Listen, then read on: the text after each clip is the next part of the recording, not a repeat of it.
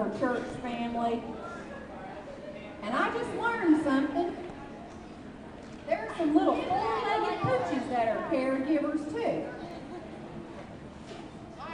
And Lindsay, Dr. Lindsay Dixon. Lindsay Dixon is going to talk Dr. to us Lindsay about her Dixon. little Rusty and how he helps. Hello, I'm Lindsay Dixon. For those of you that don't know, uh, recently graduated from veterinary school and I practice in Mount Juliet. So a few months ago, to give you guys a little insight as to why Rusty's up here on stage, a few months ago, uh, Rusty's owner came in to me and was rather distraught, but uh, told me that he was ready to put Rusty to sleep because they didn't have the time or money to take care of him. Their son had just been diagnosed with a brain tumor. So their son, his name is Colby, he's about 13 years old, and it was fighting a pretty rough battle with a brain tumor, and they weren't going to be able to take care of Rusty. So we went through with the procedure of getting ready to euthanize Rusty, and I couldn't go to bed that night knowing that I'd euthanized this 13-year-old boy's dog.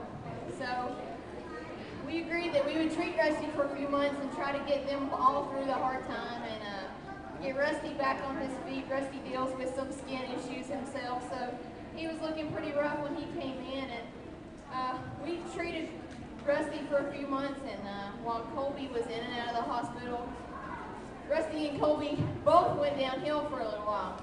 So uh, Rusty's dad came to me the other day, a few weeks ago, and said, you know, we talked about it with Colby and we just can't do it. We can't deal with both of their needs. And so Rusty, um, they were ready to, to give him up. And I said, well, if you guys would allow me, I'll take him and uh, we'll find Rusty a good home.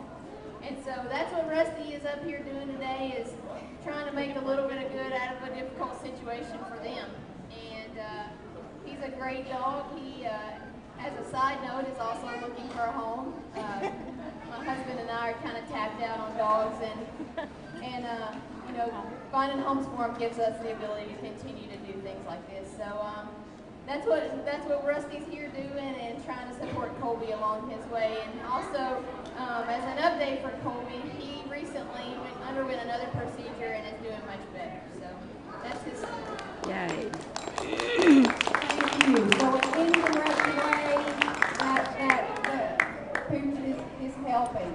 So now if all of our caregivers would come up and advantage of one of the programs sponsored by the American Cancer Society, and there's a hotel or a lodge down in Nashville, and you can take advantage of that if you have a loved one who is suffering from the cancer. So there's lots of information that these ladies have for you. if you Come here.